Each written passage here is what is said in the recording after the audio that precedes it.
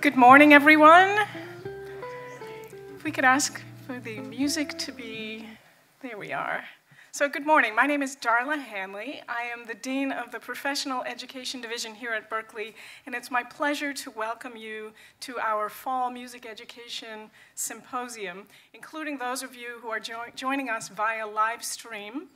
We have a beautiful schedule planned today with wonderful speakers, a, an incredible panel of alums and practitioners who are going to provide you with insights, illustrate best practices, and showcase the power of music education. Today, through the lens of songwriting, I wish you a day filled with engaging pedagogical expressions and meaningful interactions with others. We all know that music is universal, it's personal, and it's part of the human experience. It changes those who make it as well as those who have the opportunity to experience the offerings of others. Further, and perhaps most importantly today, it changes the lives of the teachers, those who are crafting learning experiences and guiding young musicians. This symposium is meant to inspire you, to challenge you to think in new ways, and engage you with opportunities to ask questions and participate. This is your day to be with us at Berklee or to come back and join us, alums at Berklee. We are very happy that you are here. I hope everyone leaves with a new song in your heart as you reflect on your own work and approach the art of songwriting with students. And I would be remiss if I did not acknowledge our fine faculty and please help me shower the chair of music education with appreciation and acknowledgement. Dr. Cecil Adderley, please come to the stage.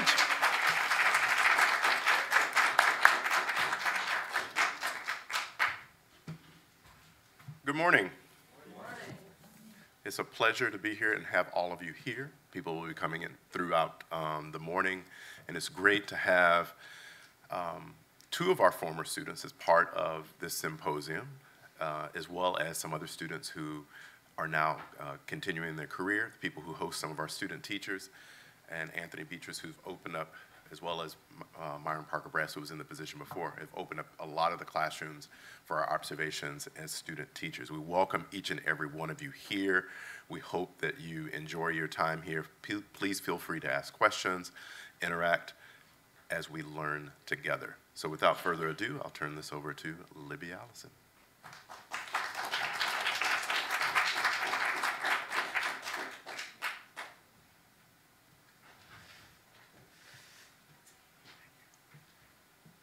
Good morning, everybody. And you know what would be really awesome? You know what I'm going to ask you to do, right? Thank you. Would you? Thank you. We do, we're going to have students who are kind of in and out but I think you folks are here for the, uh, for the whole shebang. Thank you so much. That's great. That just makes it feel a little more friendly.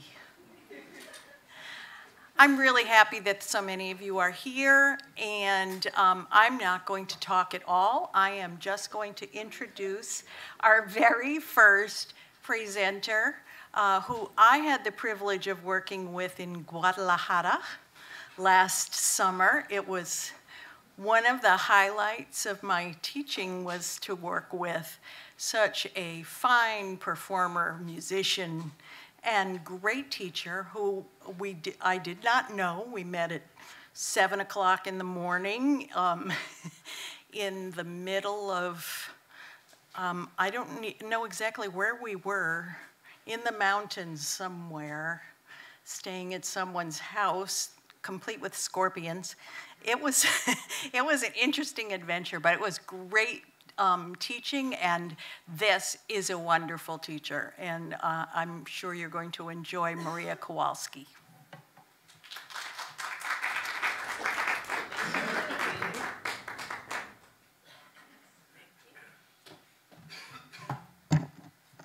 Morning, everybody. Libby kind of blew my first anecdote, which was about the scorpion. Yeah, so I met Libby uh, last June in Guadalajara at 7 o'clock in the morning. And uh, I, you know, Libby, I'm, I'm, sure a lot of you know her. She is wonderfully sweet, incredible teacher, so loving. And one morning we wake up, and Libby said, You know, guys, I think I saw a scorpion in my bedroom last night. We were like, What did you do? She's like, I went to bed. And so my first uh, word of advice is if you don't have Libby on your like desert island team, you should think about that because Libby's the kind of person who's going to say, "There's a scorpion. I'm going to deal with this tomorrow. Not afraid. Not afraid." So I am new to PowerPoint, so I know that sounds ridiculous. I was telling Mark this. I'm like, PowerPoint? That's why we've got a whiteboard. I'm, I'm a little more analog, so I'll be kind of hopping over there in a second, but all right, thus far it's a success. My name's Maria. I'm living in Brooklyn, New York. Um, I'm a Berklee alum, 2012, and I do some stuff with Berklee still. So that's how I met Libby. I work for Berklee Latino, Berklee City Music, travel a little bit and do clinics in other countries. And in New York, I work for two nonprofit organizations one is Midori and Friends, and the other is the Noel Pointer Foundation. Both of these foundations bring professional musicians into the public schools to give supplemental music classes. My instrument is the violin, so most of these classes are uh, group violin classes in public schools that don't have access to a ton of music education um, I also teach private lessons, and I am also a performer. So, as a teacher, I'm more in the teaching artist side of things. I teach in the schools a couple times a week, but I also do a decent amount of performing, things like theater and TV and things like that. So, mostly string section work. Um, why I teach. So, I came to Berklee for violin performance.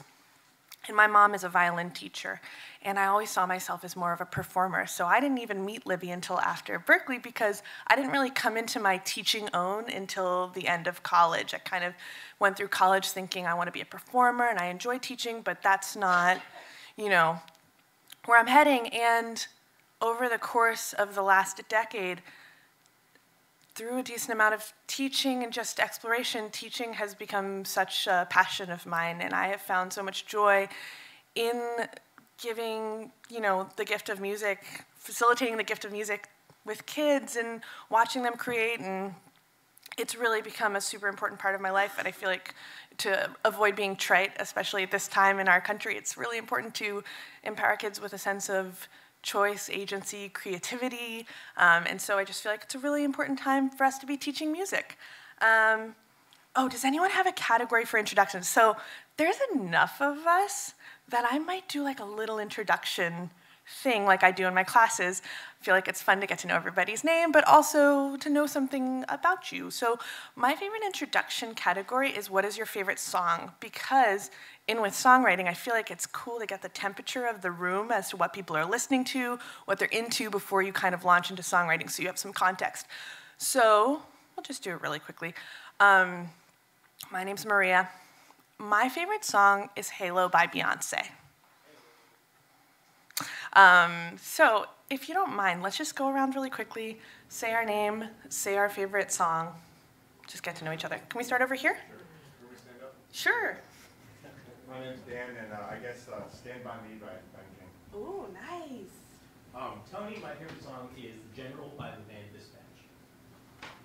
Uh, my name is David, and I, one of my favorite songs is I Wish I Knew How It Would Feel to Be Free um, by uh, Nina Simone. My name is Kara. Um, my favorite song is Don't Stop Me Now by Queen. Nice. My name is Kenrick, and one of my favorite songs is Taxi by Buck Games. My name is Karen, and she's, uh, I guess, Don't Stop Believing. Ooh. My name's Amanda. One of my favorite songs is Blues by Joni Mitchell. And also Amanda. That never happens. And I hate being asked what my favorite song is. Sorry. It depends on time of the day and what I'm wearing and where I am. So I will go with the quote that's hanging at home right now, and She Used to Be Mine by Sara Bareilles. Awesome. I mean, we're good with contextual favorite song, whatever in the moment, you know, so that's great. Awesome. Good morning, I'm Coriana. Um, I, I'm right with you, Amanda. I really cannot, I'm still thinking, what is my, I don't have a favorite song. Um, one song that I love, or I was just gonna say an artist, Stevie Wonder. Yeah. Every song is Stevie Wonder. Excellent. Mark Diaz, uh, I have no idea what my favorite song is. Um, the first five that came to mind Yeah, it's okay. Yeah.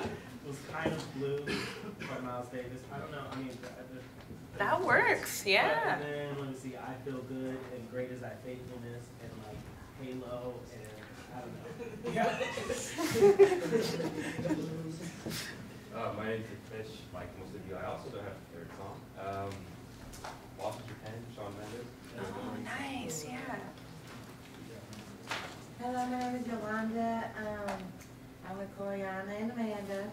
But I guess I would have to say, with a little help from my friends, by Joe Cocker. I'm Jake. Uh, one of my favorite songs is Molasses by Hay. Cool. I'm Erin. I'm also connecting to Amanda, but this week I'm really obsessed with a song called Magic by Astrid Scott Martinez. I'm Tom, and my current obsession is this band Lawrence, which is like a funk, modern funk uh, group, and they do a song called More. I'm obsessed with. So. Hi, I'm listening to the party. I'm Amy. Hi, Amy. And we're supposed to do favorite song. Yeah, whatever your favorite song is. Mission Impossible to answer that. So, uh, in general, like very early, early Elton John, 1970, 71. There's a song called Seasons off of the Friends soundtrack. And lately, I've been into um, a singer-songwriter named Gabe Dixon. I know who Gabe Dixon is. That's cool. Yes. That's very So I cool. love to discover new people, and so he's one of my newer ones. That's awesome. Yeah. Yeah, well, that's kind of the purpose. So, aside from taking the temperature of the room, the reason to ask this question is, especially with kids, I don't know what they're listening to. I, you know, I just heard there's a song called Panini by Lil Nas X. Does anyone know this song named called Panini? Okay, so I did this exercise. Yeah, it's really fun. So I did this exercise the other day with a new class, and one of the kids was like, "I like Panini," and I was like, and I listened to it, and the panini is something to the tune of, Hey, panini, don't you be a meanie. Uh, I don't remember the rest of it. And I was like, Okay, here we go. I'm now I learned something new. Panini.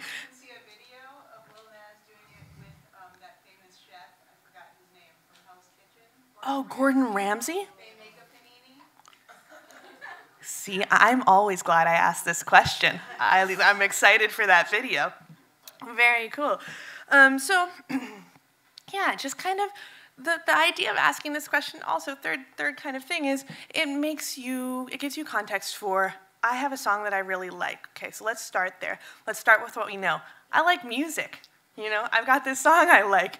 Now let's kind of go back from that. Let's unwind that and see if we can end up with a similar a similar product, a song that you like. You can make that. Um, so I started with, now a lot of this is in the context of like an instrumental group class, so if it's not applicable to you or if you want to kind of spitball and think about ways that this could apply more to your class or your situation, just let me know and let's talk about it. Um, I'm starting with building blocks. Something that we start with in my classes is scales, right? So I figure if you can start with pretty much the most basic level, then we'll start to kind of build into the more compositional thing. I'm going to focus more on the composition um, aspect of songwriting, and then Mark will take over more of the songwriting. So that's kind of our, our crossfade, but just so you know, we're going to start a little, start with the building blocks. So if you can play a scale, you can compose. How many letters are in the musical alphabet? Anybody? Anybody? Mark? Seven, right? So, are there H notes? No. Are there I notes? How about a J note? Libby? No. No. There is an H note?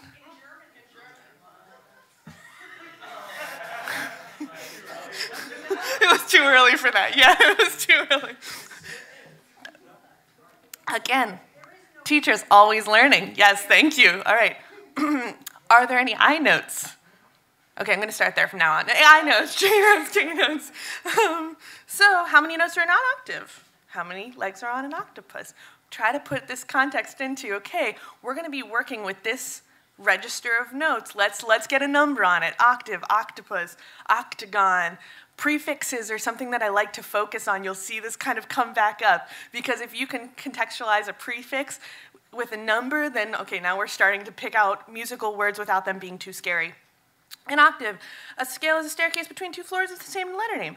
So I'm gonna hop over to the, to the whiteboard here, and I'm just gonna project. So I'm gonna just kind of go off the C scale, right? So here it is. We got C, we got D. Haha! Can you guys come to my class next week? Okay, so um, I'm just gonna number one through eight underneath these. So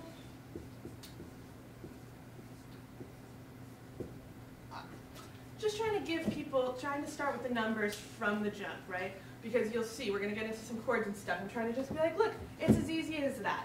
There are numbers under these notes, boom. There's no need to overthink this. So we're going to table that. What's a key signature? What does that have to even do with a scale? Just trying to loosely associate, okay, these, this jumble of accidentals at the beginning has something to do with what you're hearing, has something to do with the tonality that you're hearing. Um, I don't know if anybody has fun key signature exercises, but the two things I like, somebody taught me this in class for Sharp's Fat Cats Go Down Alleys Eating Burgers. That is the only way I've found to make people care about key signatures. fat Cats Go Down Alleys Eating Burgers. The original way it was told to me was Fat Cats Go Down Alleys Eating Bugs. If you really want to upset a class of fourth graders, you can go ahead and say that. Eating bugs? Ew. Don't like it. But yes, Fat Cats Go Down Alleys Eating Bugs, Burgers, Bagels, anything that starts with a B. And then we've got bead grandma's catfish. I always heard greatest common denominator or greatest common factor, blah, blah, blah. grandma's catfish for some reason. Really working wonders out there. So, key signature. What does the word improvise mean? What are, when are some times you might improvise? Um, a lot of times comedy comes up for kids comedy or if you didn't prepare your homework or things like that. What it, let's, let's get into the thought of what are some other times you can improvise so that we're not like associating it with something scary like, I don't know how to play jazz. Um, exercise, play scale over a chord progression and a key signature. So, you know, use your instrument of choice. And I think it just starts to, again, create that link loosely of a key signature is not scary. A key signature is just telling us which scale to use. No big deal.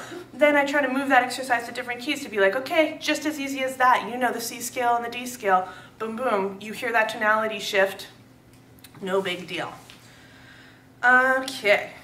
Does anybody have any thoughts about that? Scales, anything? Okay. Moving on. Does anybody know what a chord is? A chord is a stack of notes. Has anyone else thought of a way to explain a chord to a classroom that they like? This is the what I've come up with, but if anybody, stack of notes. You like it? What do, what do you say? I, I always just say it's like more, a bunch of notes at the same time, and then sometimes I lean on the piano with my elbow, and I'm like, technically that's a chord. Yes! and then you have that one kid with perfect pitch who's like, um, does anybody else have a thought? A lot of the times if you have kids who've played piano or guitar, I'm sure this has happened to you, they, they get it, but if you're a vocalist or like me, a violinist or things like that, kind of like, okay, um, hey, look, it's my prefixes. They're back. How many notes are in a triad? So I'm always kind of working with triads when I start out with composition because it's easy enough to understand, right? Triad. How many sides on a triangle? How many horns on a triceratops? I was typing out triceratops for this, and I was like, this is probably the only time I'm ever going to write this word. So you get those threes, get some dinosaur, bonus dinosaurs. Um, what I've been using is note skip, note skip, note. Um, note, skip, note, skip, note. Easy enough, and it's kind of fun to say. So I kind of make the kids say it a couple times. Note, skip, note, skip, note. Will you guys say it with me? Note, Note, skip, skip, note, note, skip, skip, note. note. Kind of just bounce along. So you can start anywhere.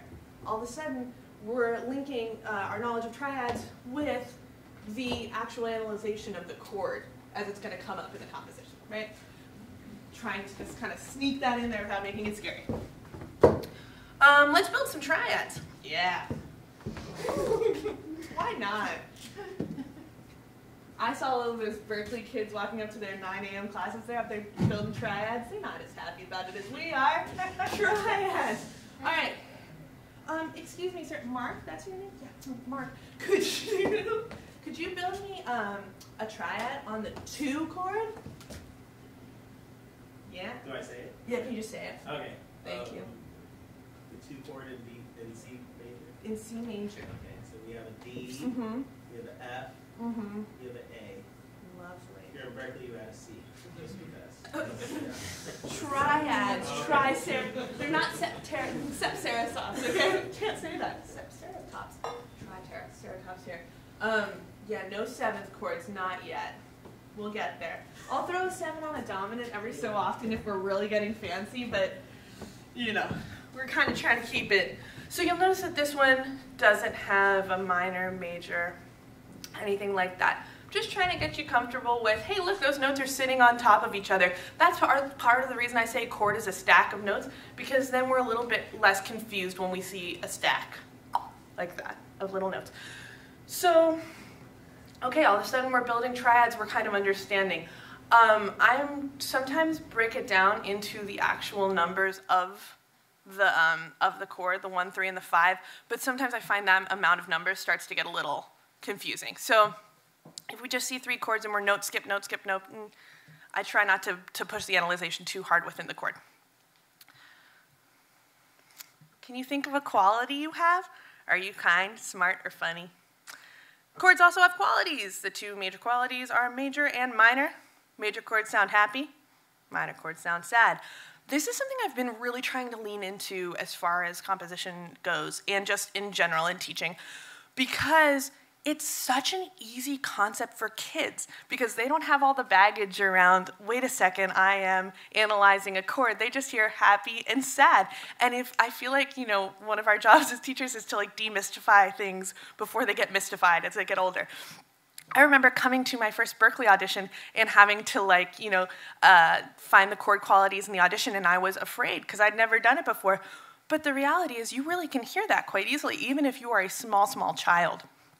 Um, I also find it to be fun if you can think of songs that sound happy and sad. If you can kind of see if those are those connect with major and minor. Again, like just kind of contextualizing key signature, greater harmonic arc, things like that, but trying to do it as accessibly as possible. So here's some exercises I've come up with to figure out the major and minor thing. Um, red light, green light, fan favorite. Um, does everybody know how red light, green light goes? Okay, just in case there's somebody who doesn't. Um, green light means go ahead and move forward. Run if you're outside. If you're not, you know, walk at a leisurely pace. Red light, you're gonna stop. So if you have a piano, if you have an instrument, even just playing a major chord progression, playing a bunch of major chords, and then playing like a, a staccato minor chord, trying to give that idea of, okay, here, here's the difference. We're physically feeling it in our bodies. We're going. Um, the other thing I've come up with is chord sandwiches. Mm. So um, I found that uh, I found that for kids who have a little bit of a harder time off the bat just coming up with major or minor if they can't necessarily hear that, especially in registers. I feel like sometimes in lower registers, kids are like, well, it's minor. Boom. You know, so trying to give them a little bit of context around the chord, I've been doing chord sandwiches. So I'll either do the same chord, same triad, major, minor, major, or minor, major, minor, and be like, what's the meat in the middle of that little sandwich so that they can hear the movement. And that sometimes kind of clears up when they just hear one chord, it clears up kind of that sensation for them, that listening sensation. Does anybody have any thoughts about chords? Yes.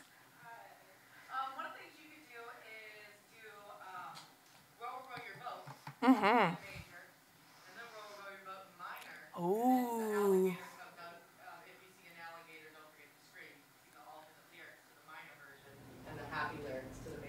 If you see an alligator, don't forget to scream.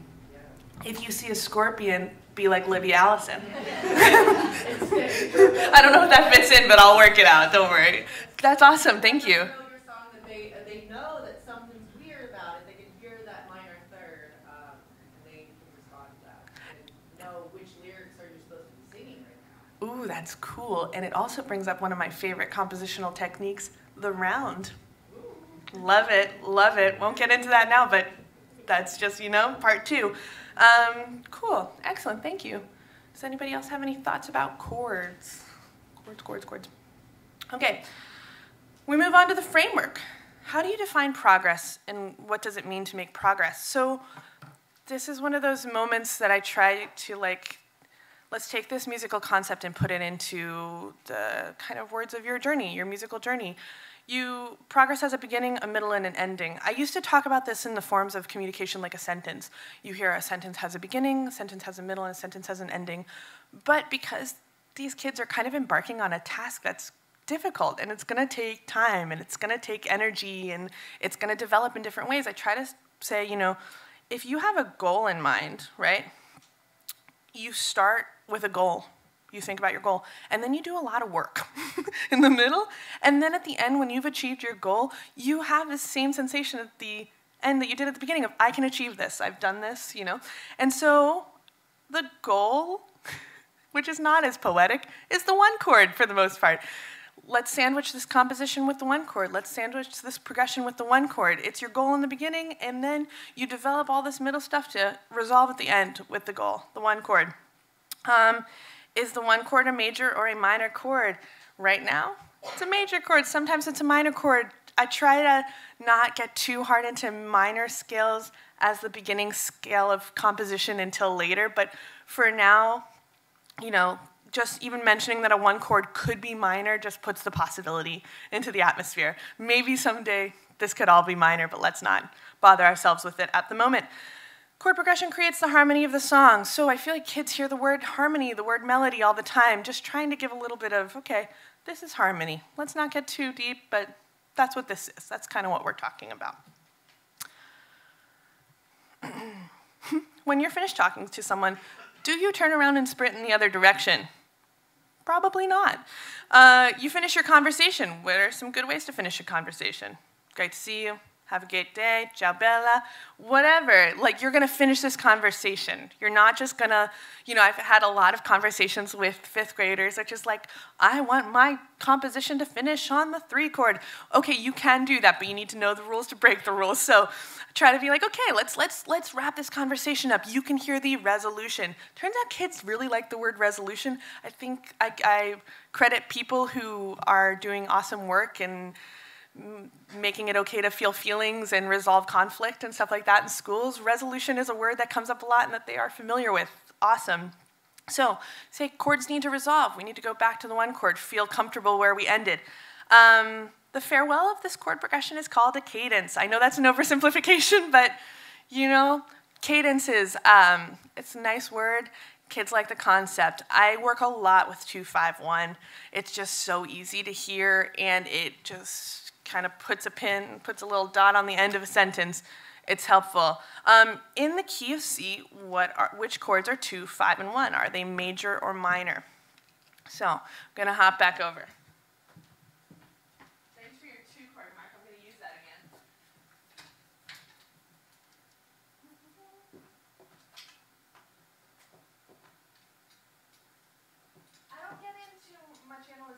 With Roman numerals just because I feel like that's adding a whole nother level that's kind of also moving forward. So you're going to see a lot of just numbers like this, just for simplicity's sake.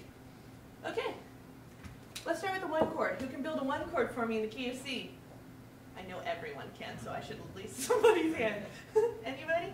How about my favorite student? Oh, hey, yes! C -E -G. my new favorite student. C, E, and G, thank you. Okay. Coriana? Yes. Major or minor? Major. Major. So we're going to say this is C major. Can someone build a five chord for me? It's going to get really fun here. G, B, D. G, B, D. Yeah. How did you find that D? Why isn't it GBC? I went, I, I am, I projected the chord going up higher in my mind. right. I mean, the, the, the scale going higher in my mind. Absolutely. So if you have kids that understand two octave scales, yay. But if you don't, that's part of the reason I threw this one on here. Same thing, right? They see the same numbers like, okay, you can't count this one twice, same note. Come back to the D. And then the two, oh, wait a second. Uh, uh. For our purposes, major or minor? Major. Dominant for some people who like seven chords, but for us, for our purposes, say major. Okay, who can build me a two chord? Two chord, two chord. D, F, and A. D, F, and A. Major or minor? So. Great. So now we've got at least some notes to associate with the 251. I also tend to like play songs that have two five ones at the end, just so we can see context, context, context, hear it, hear it, hear it. Um, even if all you hear is the song's ending, even if the lyrics are what leads you there, let's just start to get that in the ears. Two five one. Let's get picky. No choices. Remember our friend the triad? It's back. Um, okay, so we've got part of this exercise already done. Draw four measures treble clef, time signature, key of C, don't need to use sharps or flats. So 1251 is the first four measure um, composition that I start to use. I just find it to be easy. Kids feel like, ooh, I'm doing something crazy because I've got a bunch of chords here. We're getting the cadence, doing the whole thing. So I'm going to throw one chord up here, and we're filling in these triads. Again, having kids fill in the triads not sure how many of you guys have tried this already. Sometimes it's tricky because if they had done any composition, they want to see those notes flowing to the right. Stacks of chords, stacks of notes, stacks of notes. Get to this in a second. So throw this one chord on here. Treble clef.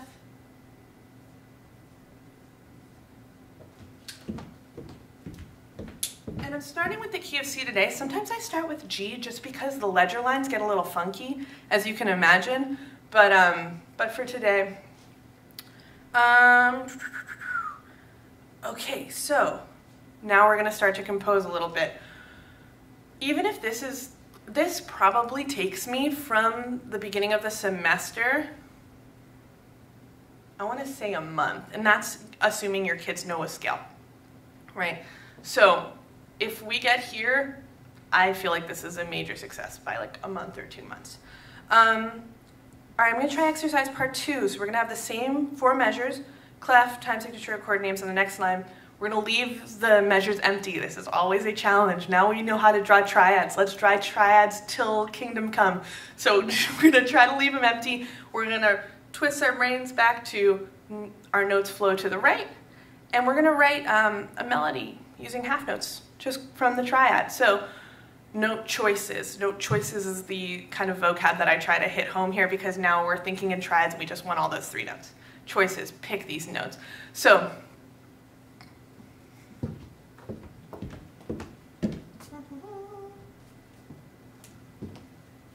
I'm gonna get a little squat in here for a second.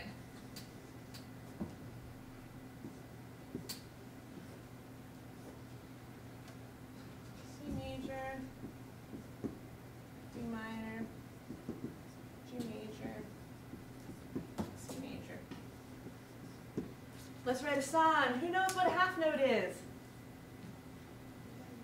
A bunch of us, right? Yeah. How many beats are in a half note? Two beats. Two beats. Yay. Okay. Um, now, if I am in four, four, how many beats are in a measure? Four. Four. What type of note gets the beat? Quarter. Quarter. Yay. So we're gonna have how many half notes per measure? Two. Who wants to pick the first note of our song? C. C. What? Yes, yes, okay, cool. So we got C. Now these are our choices. This is something I end up saying about 400. These are our choices. You can pick C. You can pick E. You can pick G. Who wants to pick our second half note? Anybody? Yes? G. G. We're moving on to D minor. These are now our choices. These are our choices. Who wants to pick a half note? Anybody? Yes? A. A. Next one? F. F. Ooh. We're over to G major. These are now our choices, G, B, and D. Half note? Anybody? B. B? Love it. A fine note. Anybody else? All right, I'll pick one. Da, I pick D. And then pick E and C. Okay, you're writing a song. You're awesome. Now that you're a composer, let's get fancy. When someone walks down the street, do they walk like this? or do they walk like this? That one. That's right. um, trying to make your notes walk to the closest note of the next chord is called voice leading. So I, I struggled with this a little bit. I was like, are we really going to get into voice leading with like small children? Yes, yes, we are because they get it. If I, when I started doing composition like this, I was getting things with leaps and jumps and all this kind of stuff, and kids would play it and be like, okay, it's cool, but it doesn't sound like the song that I hear on the radio. It doesn't sound. So I was like, okay, let's let's get into some voice leading. So I'm just gonna erase our last composition. We're gonna do this next exercise.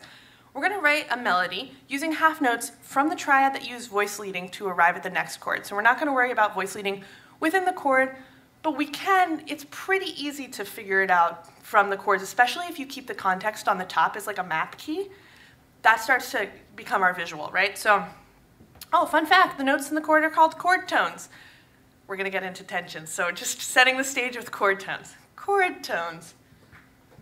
So I usually come over here and say, okay, here's a C. In the next chord, what's closest to a C?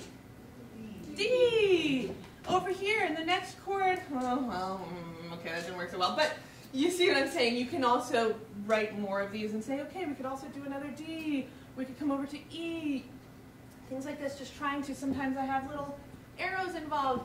I also use leapfrog, leapfrog analogy. You don't want to have to leapfrog across like five people. You just want to leapfrog across one person. Getting into this voice leading. So, back down to here. Ooh. Let's voice lead within chords. Maria, just watch the, the letters. Oh, it does, doesn't it? You know what? I'm just gonna, I'm just gonna hope for the best. Thank you. I appreciate that. That would have been a whole nother kind of morning. All right, so let's say I've got C and E. Can someone voice lead from E to the next chord? Any note that is as close as possible. F. I'm gonna pick A. Any note that's close as possible. I'll pick G. G. Nice. Let's pick B. And look, we're back to C. Leave it as a whole note. Now we're starting to understand we're just stepping between these measures, right? Um, I would do this a couple times just to start to get that. Some kids get it right away, some kids takes time. I would do this a little bit to figure out, okay, let's voice lead between these notes. Can you voice lead between chord tones? Yes, you can. The notes between chord tones are called tensions. Why do you think they're called tensions? This is always an interesting answer. Tension is a, a word that kids for sure know, and they have a lot of varied definitions for it. If we can kind of, uh, you know, put their definition into their head of when you hear some kind of ugh, in a chord, there's probably a tension. Um, remember note, skip, note, skip, note? The skips are our tensions. So we're really only working with like the 9 and the 11 as far as tensions. And I don't even give them those names because, you know, let's not go all the way there. But let's just call them the skips. Why not? We know those notes. Um, so, writing a melody with quarter notes, voice lead, leading between these chord tones and tensions, um, voice leading between chord tones and tensions. So I start by doing the whole voice leading within the measure and then voice leading through the song. Once we've got the concept of voice leading, this is all kind of fair game. Does anybody have any thoughts about that? Questions? No? Okay. Can I just ask you a question? Oh, yes. You alluded earlier that getting to talking about the triads would be like a month in. Mhm. How often are you seeing, like, do you, is this a once a class week that it's taken a month? Yeah. Okay. Yeah, so I teach, um,